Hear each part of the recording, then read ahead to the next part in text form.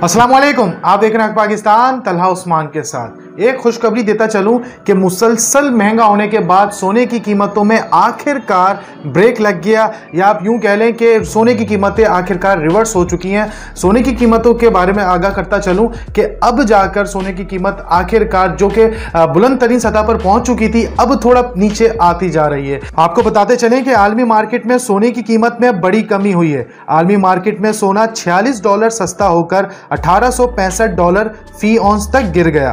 दो रोज में आलमी मार्केट में 90 डॉलर फ़ी ऑन्स गिर चुका है। पाकिस्तान में एक तोला सोना चार हज़ार रुपये सस्ता हो गया।